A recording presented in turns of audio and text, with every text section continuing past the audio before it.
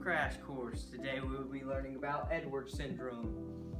The cause of the disorder is the 18th chromosome, and Edwards syndrome is also called trisomy 18.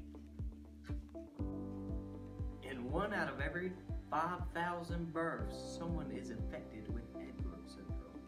Some of the major symptoms of Edwards syndrome includes recipients to be weak and fragile, the ears are low set and malformed, and also the mouths and jaws are actually smaller. The way Edwards syndrome is diagnosed is x-rays show a shortness in the breastbone. Some of the treatments for Edwards syndrome includes palliative care, but some of the more rare instances may include surgery. Sadly, there's no cure.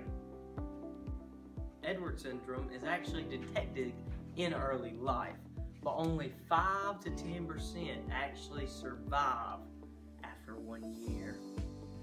Some of the more interesting facts about Edwards syndrome is that someone affected with it actually only survives for about two months.